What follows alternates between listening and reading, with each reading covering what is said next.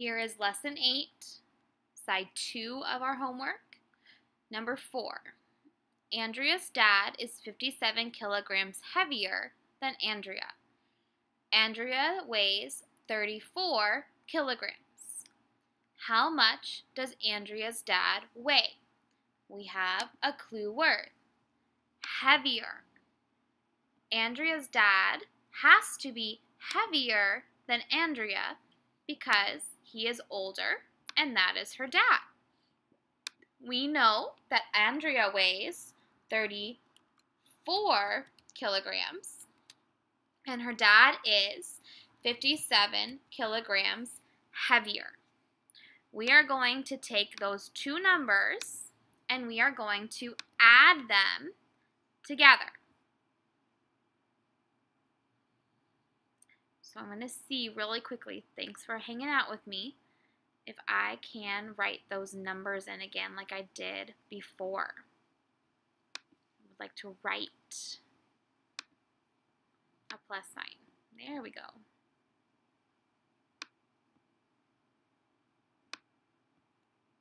And finish it. All right, so we're going to go back and we are going to add these numbers. So I have 4 plus 7 gives me 11. So I'm going to put a 1 down below.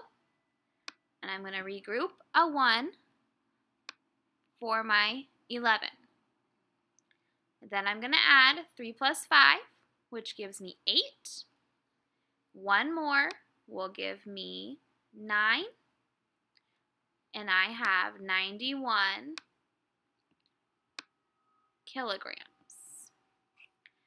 I'm going to answer this in a complete sentence.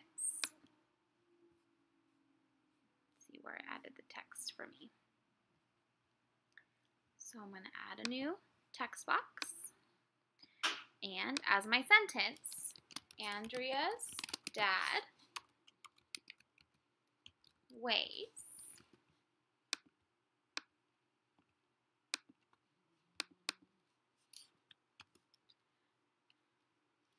Ninety-one kilograms. Letter B. How much do Andrea and her dad weigh in total? Here is my clue word. Total. Let's look back at our two weights. We have 91 kilograms is how much her dad weighs, and Andrea weighs 34 kilograms. Those are two different numbers. They are not equal groups, so I am not going to multiply to find the total. Again, I'm going to add. So we're going to add 91 kilograms plus what Andrea weighs, 34 kilograms. Let's try that 4 again.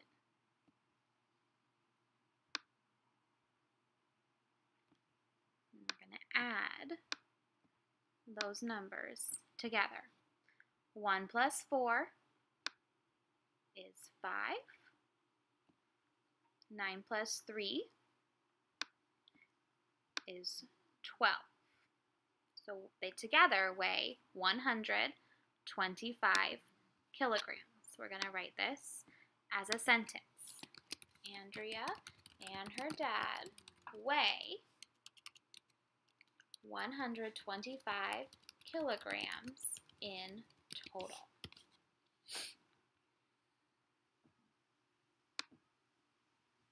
Number five. Jennifer's grandmother buys carrots at the farm stand. She and her three grandchildren equally share the carrots. The total weight of carrots she buys is shown below. So let's take a minute and look at that. We know she, the grandmother, and her three children equally share the carrots.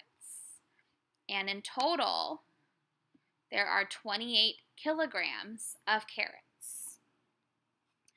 How many kilograms of carrots will Jennifer get? How many people are sharing these carrots? We have the grandmother and three more. So I have four people who are sharing these carrots. I'm going to draw a picture. I'm going to start with a tape diagram.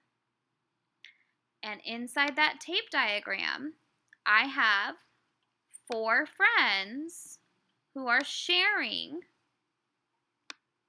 the carrots. So I'm going to make those four lines. And then I'm going to just extend them so they fill up the whole box.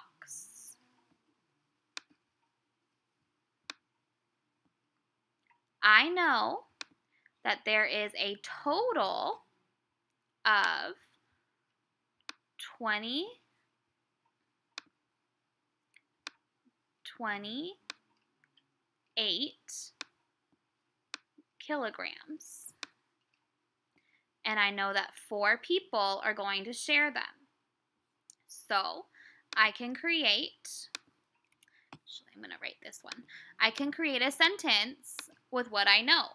I know my groups and I know my total. I don't know my size. So I'm going to write 28 kilograms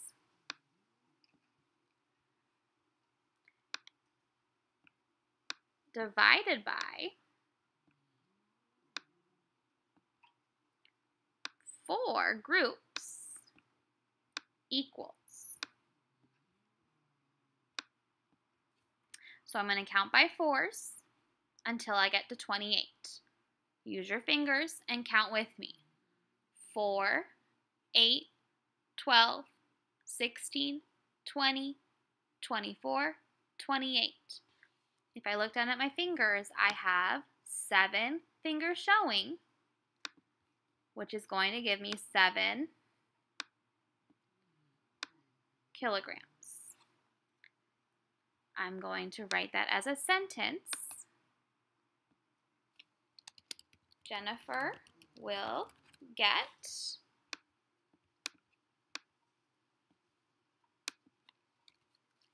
seven kilograms of carrots.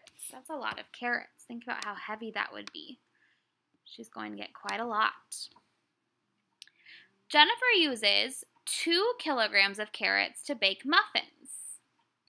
How many kilograms of carrots does she have left? Oh, we have that clue word again.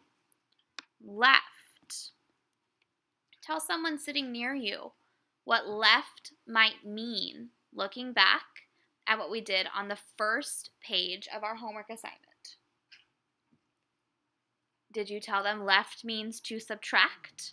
If you did, you are correct.